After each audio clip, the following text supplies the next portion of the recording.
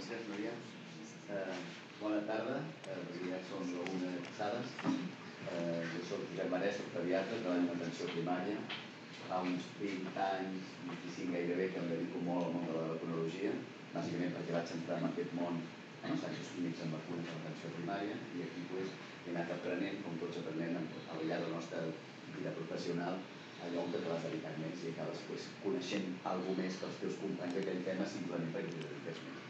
I avui vinc a compartir amb, amb vosaltres, doncs, jo diria la meva experiència en Rotary, perquè veureu que us he preparat, com deia la Magda, no estarà improvisat, m'he preparat i he assajat eh, una presentació que crec que, que us agradarà conèixer, que se surt una mica de les presentacions clàssiques sobre el taller. Entenc que tots els que esteu aquí sou pediatres. Hi ha, hi ha algú que no que sigui també que atengui nens, però hi ha infermeria pediàtrica que aquí també. Hi ha algun professional que no sigui pediatre ni infermera, però que treballi amb nens o dins de família que també treballi... No, sou pediatres infermeres, tots treballeu a pediatria i tots poseu vacunes. I vacunar també. Bé, llavors potser conversos, no? no, no, no, no, no, no M'han proposat aquest títol, Rotavirus, la, la roda que no para. Com us deia que la meva incursió en el món de la tecnologia va venir dels assajos clínics, doncs tinc uns possibles conflictes d'interessos, perquè he treballat molt amb la farmacèutica que desenvolupa vacunes per aquí estat als assajos clínics i a partir d'aquí doncs, he col·laborat amb ells amb, amb xerrades, amb formació, amb, amb coses organitzades per la indústria i coses no organitzades per la indústria. Eh, aquesta roda que no para farà ja 50 anys l'any que ve que Ruth Pichot va descobrir que era aquest microorganisme rodonet, com una roda, que és el rotavirus, un virus que segueix rodant, ja són molts anys, aquí el títol, i eh, un virus que al descobrir-lo van posar nom a un microorganisme que provocava una malaltia greu, freqüent, que generava molt, molt impacte a la població pediàtrica i que ara valorem. Però jo us vull explicar, com us deia, com vaig connectar jo primer amb el rotavirus. I la meva història amb el rotavirus comença amb quan va vindre l'Aina, que és aquesta nena d'un mes, que arriba a la meva consulta, a la revisió d'un mes, que són els seus pares, aquesta és una foto quan acabava el mes, és el seu primer fill, això fa ara 18 anys, exactament. I després de visitar-los vaig fer una proposició. Els vaig dir, voldríeu que l'Aina, la vostra nena d'un mes, participés en un estudi que estem fent per avaluar el benefici que representaria vacunar-la enfront de rotavirus, que és un virus que provoca una diarrea greu. Us agradaria que participés en aquest estudi i li administressin una vacuna eh, per prevenir-la? De fet, el que els estava explicant aquestes paraules que us dic era voldríeu que la vostra filla mes participés en un estudi experimental amb una vacuna comparada amb placebo per avaluar la immunogenicitat i la eficàcia d'una vacuna davant d'una malaltia que provoca virus? Eh, els pares van quedar, com podeu comprendre, imagineu-vos que us passés a vosaltres, amb una cara una mica de pòquer, per dues raons. Primer, perquè els proposava això, que el seu filla participés en un estudi. No vaig dir la paraula sense en aquell moment i segon perquè el pare va dir, rota què? És que no havia sentit parlar a la seva vida de rota vida. Com molts pares ara que no han sentit mai parlar de rotavirus, que rotavirus no es veu.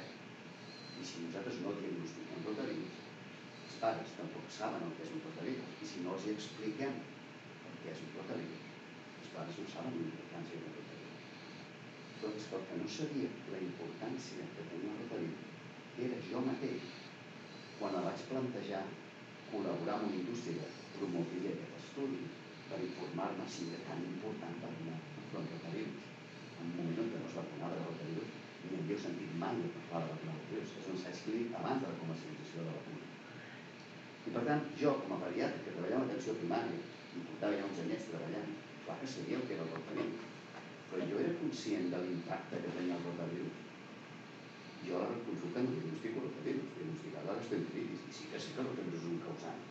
I jo sabia la peculiaritat que tenia aquest rotavirus. jo em vaig tenir que documentar, aprendre, revisar, estudiar, veure'm tota la informació que hi havia publicada per veure l'impacte que havia aquesta malaltia, per poder explicar als pares, dir, és que el rotavirus, això que els he plantejat, que no sabíeu el que era, és la primera causa de diarrea greu al món, en nens petits. És la primera causa d'hospitalització i la primera causa de mortalitat a llocs on els nens es poden deshidratar i morir. És una malaltia, per tant, potencialment greu, que fa patir als nens i a les famílies quan hi ha un rotavirus a casa, que implica una despesa sanitària per la necessitat d'atenció i a les famílies per la necessitat de manteniment, que no té cap tractament, que l'únic que fem és hidratar el nen i esperar que tot vagi bé i no hi ha cap manera de prevenir-ho. Per això us proposo la vacuna. Evidentment, a aquests pares els vaig explicar més coses, els vaig dir si la seva filla participa a l'estudi i es vacuna, quedarà protegida d'aquesta malaltia. Però si rep placebo, col·laborareu en un estudi que permetrà que aquestes vacunes puguin estar disponibles per prevenir aquesta malaltia i que molts nens al món es puguin beneficiar. Per tant, té un component altruista la vostra participació els pares van comentar a casa, els avis es van oposar, és estaven bojos, això, els pares van confiar en mi i em van donar el consentiment informat que Aina participés en els escrits. I Aina va participar en els escrits. Eh, molts pediatres avui no tenen tota la informació que jo tampoc tenia i vaig tenir que documentar-me perquè clar, a les consultes no tots tenim eines per diagnosticar rotavirus i no acabem de tindre la percepció de la rellevància que té la malaltia, una malaltia que té aquestes connotacions. Però també hi ha molts que ja ens hem documentat, molts de vosaltres que heu documentat, i potser us plantegeu però tot això que has dit, que els hi vas dir a 18 anys als pares, segueix sent veritat. És la primera causa d'hospitalització després de tots els anys que han passat. Segueix sent certa l'impacte de la malaltia en el nostre medi, tenim dates que ho corroboren. Mireu, aquesta és la presentació que jo, una diapositiva d'ella, no és d'ara, que jo utilitzava quan començava a parlar de rotavirus després del CES clínic. I eh, deia, és que tots els nens passen rotavirus, un de cada un, eh? el que vol dir aquest numeret d'aquí, la part de baix de, de, la, de la piràmide. Malaltia universal, vol dir tots els nens tard o d'hora passen un rotavirus, tots, en els primers anys de la vida, dos, tres anys. Un de cada cinc ha d'anar al metge perquè està fumoret. El metge. Despesa sanitària implica anar al metge. Un de cada 50 aproximadament, això és variable, acaba hospitalitzat. No té tractament i no, no funciona. Bé, això segueix sent veritat, exactament igual. I en aquell moment, estem a l'any 2005, aquest estudi es fet el 2004-2005, que s'ha presentat, en aquells moments, rotavirus provocava 600.000 morts al món en els països del rotavirus mata, que no és el nostre, evidentment, però això és la realitat aquest triangle segueix sent igual excepte la part de dalt. Perquè si això era el 2005, el 2021, i això és una dada que us vull compartir, gràcies a que vam disposar de vacunes, que es van comercialitzar a partir del 2006, que es van posar molts calendaris del món, allà on el rotavirus mata, s'ha reduït la mortalitat a data d'avui dos terceres parts. Ja no moren 600.000, encara en moren molts, eh, 200.000, però s'ha reduït dos terceres parts. Això és un impacte brutal de la vacunació contra el rotavirus. Els països que han vacunat el rotavirus. Però això no té res a veure amb el que passa a Espanya, perquè aquí no mata. Per tant, quina és la situació en el nostre país? Tenim anàlisis del que ha passat des del 2006, que es van comercialitzar les vacunes fins avui, que ens fan la fotografia de la realitat. Això són papers d'aquí i de tots aquests papers que no us faré llegir, òbviament, només vull que us fixeu en aquesta dada. Aquesta és la taxa d'incidència de rotavirus de les vostres consultes d'atenció primària. Encara que no ho sigueu conscients, de 15 a 20 casos per 1.000 nens menors de 5 anys, que és variable, depèn de les zones en funció de les estructures vacunals, perquè aquí hi ha una interferència de vacunació en algunes zones irregular, que és similar globalment en algunes zones al que hi havia en el 2006, en algunes ha canviat, i perquè això veieu què vol dir aquest número, un números fàcil, vol dir que de les diarrees que veieu a la vostra consulta, una de cada quatre, encara que no sapigueu, és per rotavirus. Una de cada quatre, 25%, de mitja al, al llarg de l'any. Encara que no ho sapigueu. Però és que si sapiguéssiu de rotavirus, sabríeu el que passa perquè això és valoració de gravetat de la malaltia a l'hospital. Com el rotavirus provoca una malaltia més greu, els nens que tenen la diarrea per rotavirus són els que més han d'anar a l'hospital i s'hospitalitzen entre un 10 i un 50%. Perdó, dels nens hospitalitzats per diarrea, entre el 10 i el 50% ho són per rotavirus. Vol dir que el 10-50 depèn de les cobertures vacunals de les diferents zones. Gairebé la meitat de les hospitalitzacions que hi ha als nostres hospitals per diarrea en nens no és per rotavirus. Però és que, a més a més, en tota aquesta revisió sistemàtica al nostre país, tots els estudis el que avaluen és que quan diagnostiquem rotavirus i diagnostiquem altres virus o altres causes de gastroenteritis, veiem que d'una forma consistent el rotavirus, aquest 1 de cada 4 que aquestes consultes, és més greu que el rest. Però això ho veureu més bé si us poso números. I us posar números perquè durant aquest mateix període es fa un estudi que és impressionant al nostre país, actual, 2021, està publicat l'any passat, on es valuen durant 5 anys, 2013-2018, com és la gastroenteritis Espanya, en dos hospitals que representen tota la geografia espanyola, dos hospitals importants. En aquests hospitals, el 6% de totes les hospitalitzacions pediàtriques, el 6,5%, són gastroenteritis agudes, menors de 5 anys. Doncs bé, avui, Espanya, la meitat d'aquestes hospitalitzacions segueixen sent per rotavirus. Per tant, segueix, a data d'avui, seguim igual com us dit el 2006, és la primera causa d'hospitalització per diarrea en el nostre país. Aquesta és una realitat. Es van hospitalitzar, després veurem aquesta dada, 1.700 nens, eh, que són bastants. 1.700 nens. Però després hi seguirem. Què és el xulo d'aquest estudi? Aquest estudi està fet quan s'està vacunant de rotavirus i avaluen què passa amb aquesta hospitalització depenent de quina zona geogràfica d'Espanya té una millor o pitjor cobertura vacunal. I compara com és l'hospitalització a llocs on es vacuna molt, perquè els pediatres ho fan, llocs és el 60% de nens vacunats i llocs on es vacuna poc. I resultat és impressionant, perquè on hi ha la màxima hospitalització és a les zones de baixa cobertura, òbviament. I on hi ha alta cobertura vacunal, en groc, més del 60% de nens vacunats, és on l'hospitalització és molt baixa.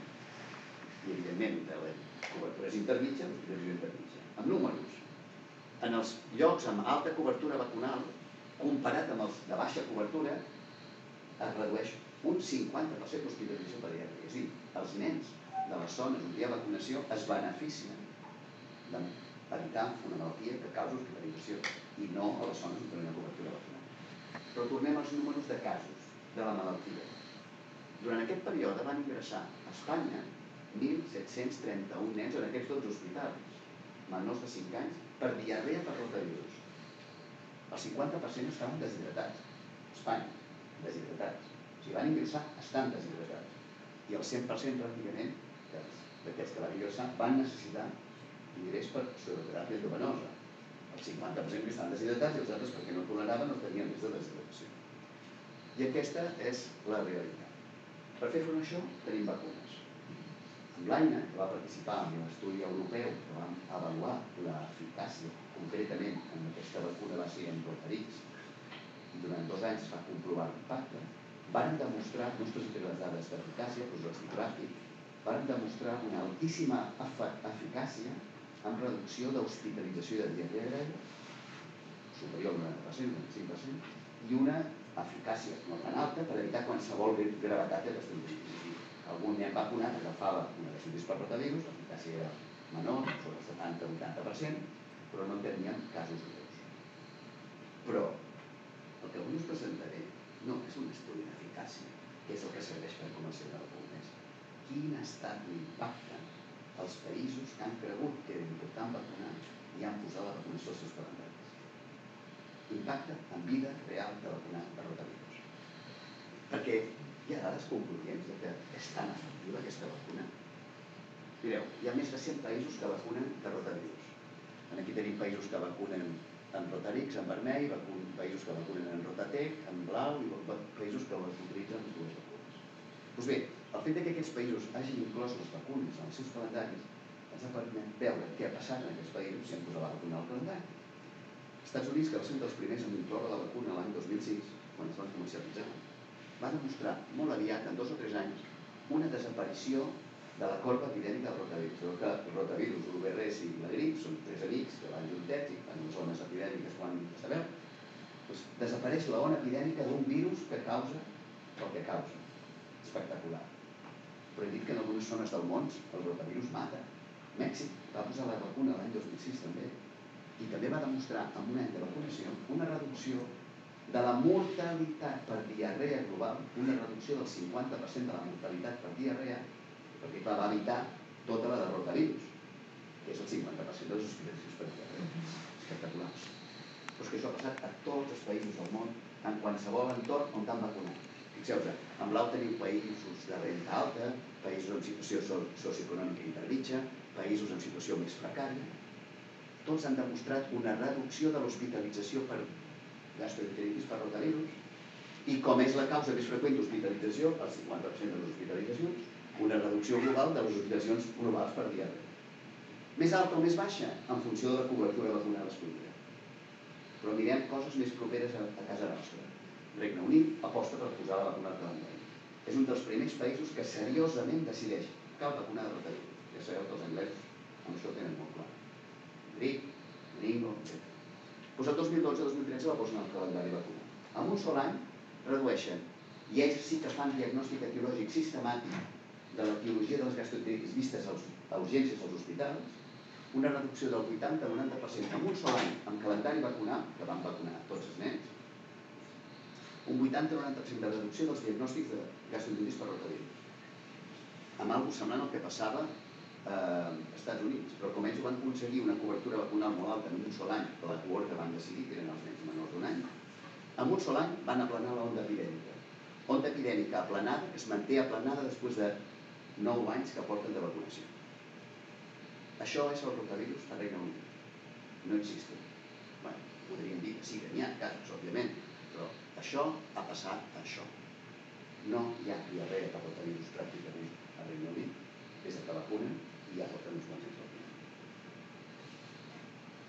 Però també us donaré números. Hi ha revisions que corroborin això amb números que ens puguem fer una idea de l'efectivitat. Doncs és una data també molt recent, no us presento dades del 2006. Això és del 2021, una revisió que creen. Fixeu-vos l'excel·lent efectivitat de tant la vacuna monovalent, és Rotarix, com la pentavalent, que és Rotatet, en països com el nostre, de baixa mortalitat per rotavirus, efectivitats per evitar formes greus, excel·lent.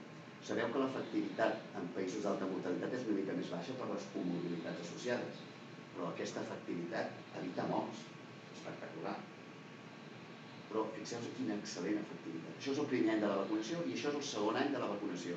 Les vacunes mantenen la protecció perfectament durant dos anys. Totes dues van perdent protecció després. Però els primers dos anys mantenen una excel·lent protecció. I a més a més ens preocupava. Però clar, les vacunes tenen un nombre limitat de genotips. Pot ser que se seleccionin altres genotips, és el rotavirus, és un rotavirus molt promiscu, és un virus molt promiscu, intercanvi material genètic, poden aparèixer noves soques. Podria ser que no cobríssim altres soques que no són exactament les vacunals. Doncs en aquesta revisió sistemàtica també del 2021, fixeu-vos que amb, amb dues vacunes tenen una excel·lent efectivitat per les diarrees quan ho estem enfrontant davant soques que en diem homotípiques, és a dir, exactament igual antigèniques que les que contenen les vacunes, quan ho mirem amb soques que en diem parcialment heterotípiques, que els antígens de superfície en comparteixen un amb les vacunes, però no tots dos, però també quan ho avaluem la protecció d'una vacuna que té una soca, quan prevé la infecció per soques totalment diferents antigènicament basant en aquests antígens de superfície excel·lent. I dir com pot ser que les vacunes siguin tan efectives? Perquè aquesta efectivitat és superior a la que vam trobar en els assajos clínics en què havia participat l'AINA. Superior als estudis d'eficàcia. Fixeu-vos, perquè les vacunes aconseguissin això, van fer dissenys diferents, són dues vacunes diferents. Aquesta és Rotatec, la vacuna eh, pentavalent. Aquesta vacuna, com la seva estratègia de prevenció per aconseguir això que us he explicat, eh, conté cinc soques veieu que en són cinc, són de color verd perquè són d'origen mm, boví, no són d'origen humà, són d'origen animal, això es fa perquè ja estan atenuades, no provoquen infecció els humans, però perquè protegin dels rotavirus humans, els recombinen genèticament amb soques humanes, on intercanvien un fragment genètic, que veieu aquí en color groc, d'un rotavirus de color groc, per dir-ho així, humà, que expressa una proteïna externa que et classifica amb una soca que és una G1 humana. Per tant, tot això és una soca bovina i té solament a fora una proteïna externa que correspon a la còpia d'una proteïna d'origen d'un rotavirus humà. A l'altra soca hi poso una proteïna genèticament diferent, o sigui, un antigen diferent, amb una altra una altra, amb una altra una altra, i en aquesta, en comptes de canviar la protecció, poso l'espícula. I l'objectiu és dir, cobriré soques que tinguin alguna d'aquestes Gs, o si no tenen aquesta G, tinguin la P, però per una o per l'altra es proviran. Per tant, això ens donarà la possibilitat de tenir una àmplia cobertura de soques totalment diferents. Aquesta és de també. Jo he vist que la infertilitat és excel·lent. I, i Rotary es plantegen, quan es dissenyen les vacunes, una estratègia diferent. És una una soca única, però d'origen humà. Per tant, atenuada al laboratori en passes cel·lulars, perquè no provoqui malaltia. Però només té una soca una soca que té només una G i una P, G1, P8. I en què es basa aquesta estratègia d'origen humà? És diferent. Es basa en imitar, com és una soca d'origen humà, a la immunitat i la protecció que genera la infecció salvatge natural, els rotavirus humans. I com és un rotavirus humà quan provoca una infecció? Doncs mireu, els nens tenen múltiples infeccions els primers anys de la vida. No genera una immunitat absoluta a la infecció salvatge que és el que pretén imitar aquesta vacuna que us deia monovalent humana atenuada. Però hi ha tres coses molt importants de la infecció salvatge que són les que justifiquen l'efectivitat d'aquesta vacuna. Una, que després de dues infeccions, la primera és la més greu, la segona també, però després de dues infeccions, de dues exposicions al virus salvatge, les següents infeccions són asimptomàtiques, asimptomàtiques o molt lleus aspecte important. Després de dues exposicions, les infeccions següents asimptomàtiques. Però amb dos aspectes molt importants. Independent de la soca que ha provocat la primera infecció i independent de quina soca m'exposaré en les següents infeccions. Per tant, independentment de que sigui una G1P8 o una G2P4 la primera infecció, te previndrà el que t'exposis a una G9P12 o el que sigui. Això passa amb la infecció salvatge. I això és el que pretén aconseguir, quan es dissenya la vacuna, una vacuna monovalent humana. Per què pot passar això? Perquè inicialment es va pensar que tota la immunitat era devida als anticossos que anaven contra aquestes proteïnes externes. I avui sabem que tant les soques bovines com les humanes tenen proteïnes estructurals, concretament una proteïna central que és molt abundant, que és la UVB6, que és la blava que està dintre, que és la capa mitja, molt antigènica, que comparteixen molts virus, i també que quan el virus es replica, fabrica altres proteïnes que no són estructurals que donen resposta immunitària. I aquesta superresposta immunitària és el que ha que les dues vacunes estiguin donant una protecció inclús superior a la que s'esperava per als assajos clínics.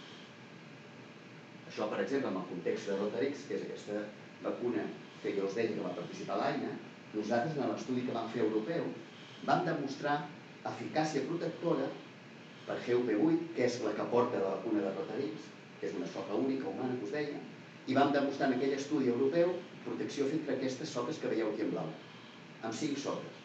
Però la vacuna s'ha utilitzat al món, circulen altres virus, i després de la postcomercialització, els estudis d'efectivitat han demostrat protecció davant soques, fixeu-vos, absolutament diferents de l'original, fins a nous serotits, i aquestes soques, aquestes nous, són representatives, representatives de la gran majoria de les infeccions per rotavirus que es provoquen en el món. Per tant, tenim una vacuna que imita la infecció salvatge una àmplia protecció. Protecció que, com us he ensenyat abans, han demostrat les dues vacunes, a pesar de tenir estructures de desenvolupament i mecanismes absolutament diferents. I ens preocupava allò que us he dit abans. No passarà que amb el temps tindrem infeccions per rotavirus que no estan inclosos les vacunes perquè sortiran soques diferents. Això és un seguiment que ja porta 10 anys. I això que veieu, que dius que coi és això, això cada, cada columna, això són diferents països d'Europa, cada columna de cada gràfic és un any i els colorets són les diferents soques que es detecten a cada país durant tots aquests períodes.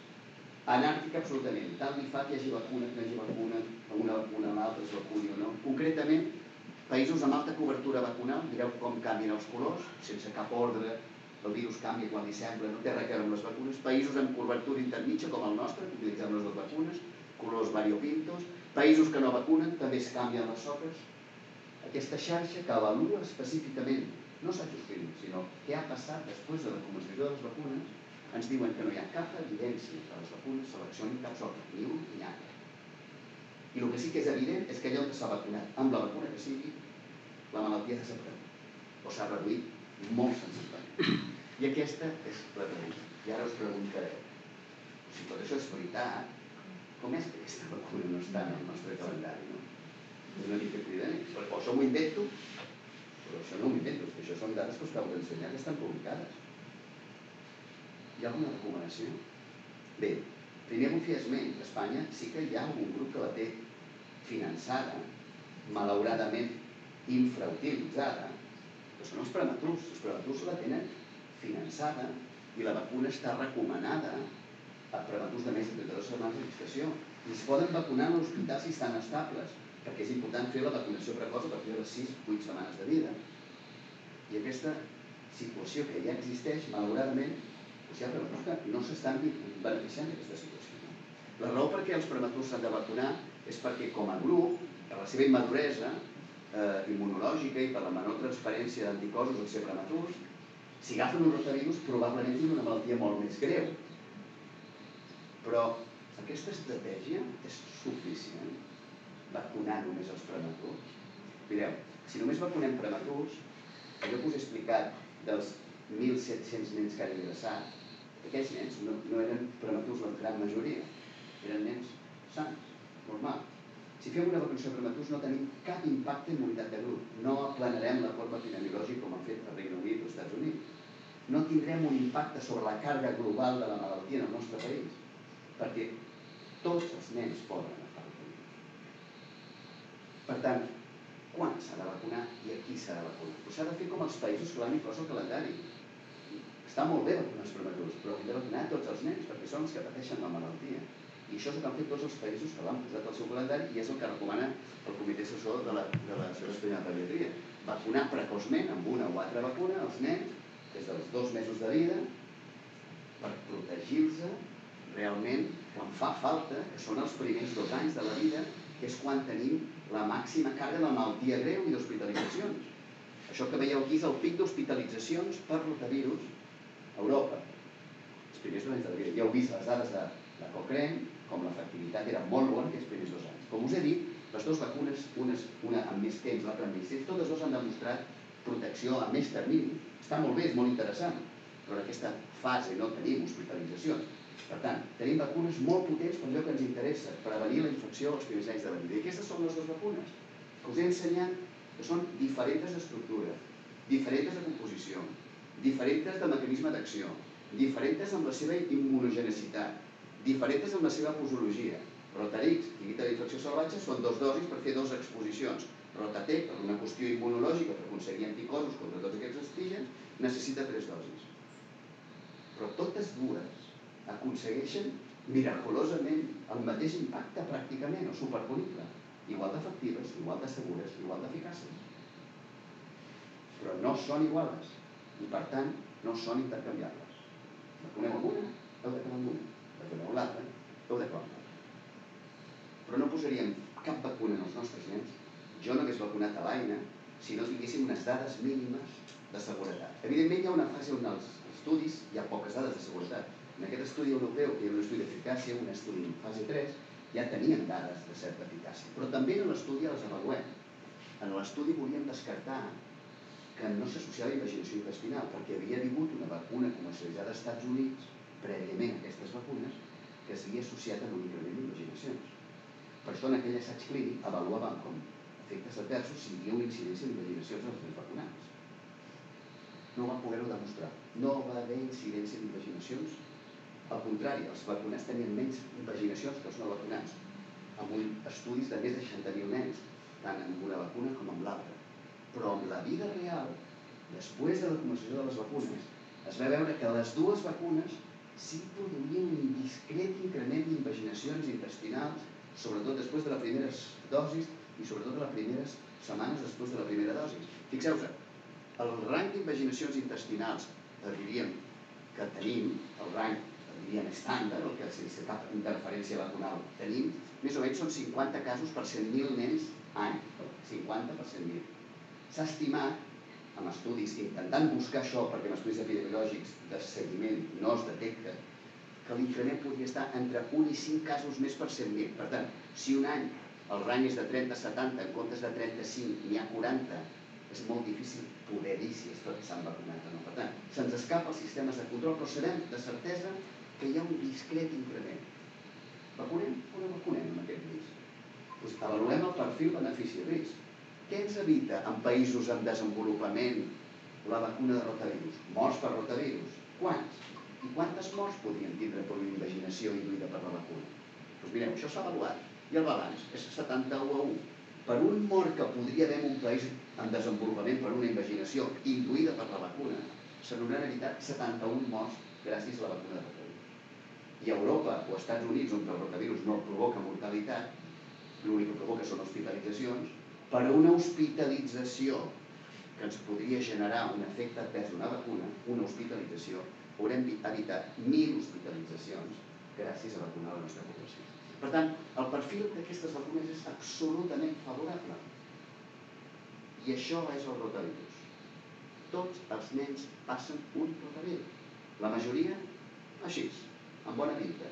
Bevent més aigua uns dies, la majoria, però uns quants, són bastants, però són uns quants, no hospitalitzen, no estan a la UCI, no se'ls ha posat un suel, estan a casa, però amb aquesta pinta, plorant, no menjant, perdent pes, amb aquesta cara, i els seus pares ho estan veient, tots estan patint, us venen les consultes, ens hem d'hidratar, però nen ha perdut pes, però no està deshidratat, no l'ingresso, vomitant, això sí ho agafa tota la família, alguns es porten la pitjor part, s'estan deshidratant o no toleren la diodal, ens fa poc que ens hem d'hospitalitzar, ensenyava de l'estudi espanyol, per tant, virus és una malaltia sistemàtica, per tant, molt freqüent, potencialment greu, i que hospitalitza o no genera patiment a tots els nens que la pateixen i també a les seves famílies.